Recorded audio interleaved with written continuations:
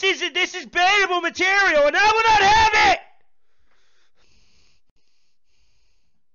Oh, boo hoo, God herself, get out of my stream. Get out of my hotline. Hope you get terminated better off that way. Well, you know what?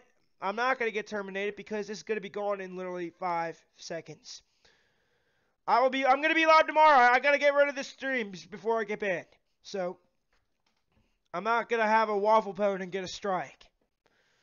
Um, Stag, I don't even know if there's going to be any um, Christian friendly videos for a long time. I thought it would have been different since it's been weeks since I've been live. I didn't do it last stream. But you know what? Billy always deletes his streams, bro. You know why. You know why I have to do that.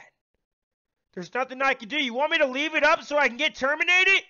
I'm not do I'm I'm not that stupid.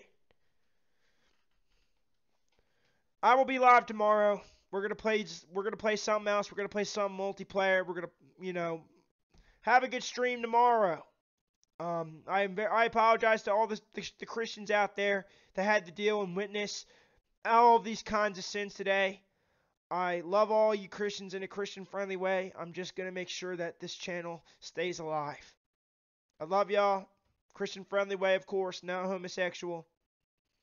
And um, I'll, I'll see you tomorrow. God bless.